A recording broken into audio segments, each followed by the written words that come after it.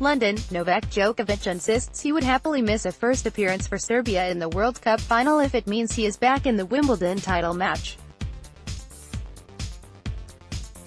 Djokovic is an avid fan of the Serbian national team, who kicked off their World Cup campaign with a 1-0 win over Costa Rica in Russia on Sunday.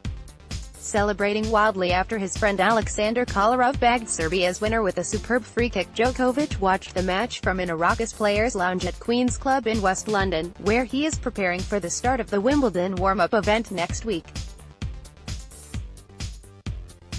File image of Novak Djokovic AFP but the 31-year-old was surprised when he was told he would likely miss out on watching Serbia if they make a surprise appearance in the World Cup final. That is because the showpiece in Moscow is scheduled to kick off just hours after the Wimbledon men's final begins at the All England Club on the 15th of July.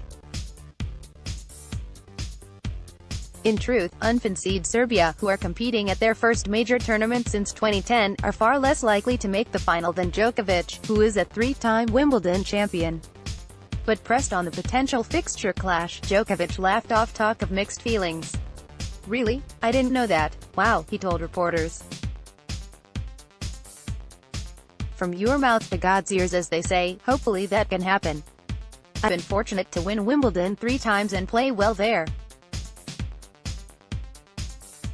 If that happens I would obviously be very happy to miss the World Cup final, while Djokovic would swap World Cup glory for his own Wimbledon success, the proud Serb has been relishing his country's return to the big time in Russia.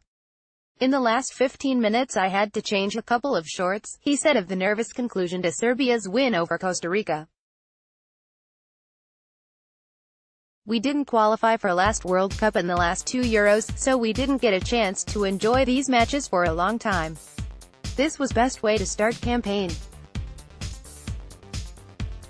Everybody is watching in the players' lounge. Djokovic has built up good relationships with several of the Serbia squad, often picking their brains about different ways to improve his training regime. I'm friends with Kolarov who scored an amazing goal today, and Nemanja Matic, these guys, he said. It's a different sport, but we share a lot of things in common as athletes. We support each other, but can also share insights into how we train. As individual athletes we miss that feeling of being in a team. We only have that for the Davis Cup. When you are playing for your nation, spending time together, it is wonderful, he added. Kolarov and company still have two more tricky group stage fixtures against Switzerland and Brazil.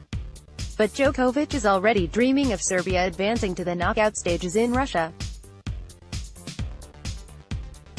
Serbia have been quite successful in basketball over the years, but football is the most popular sport in the world and in our country as well, he added. Everyone would love to see the national team go far. Updated date, June 18, 2018 104 p.m.